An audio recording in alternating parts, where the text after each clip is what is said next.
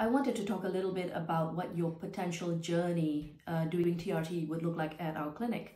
Um, so when most patients come to us, initially you'll have a consultation with a blood test. Um, I will be talking a little bit more about the blood test in another video and to explain to you a little bit about how our blood test is different from other people.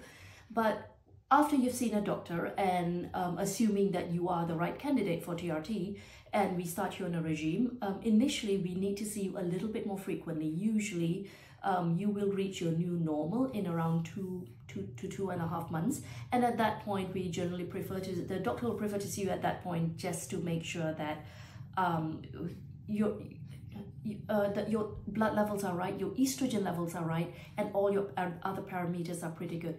And if any tweaking needs to be done, this, uh, it's usually done at this point. And from this point on, we'll need to see you about six months afterwards and thereafter annually. And that's usually what your typical journey would look like. In terms of costing, uh, TRT is not as expensive as a lot of people think it is. And at our clinic, you'll find that it starts from 220 a day depending on what your options are, if you uh, what you prefer, which will also be discussed uh, by uh, with your doctor, and also I will talk about it a little bit more in another video.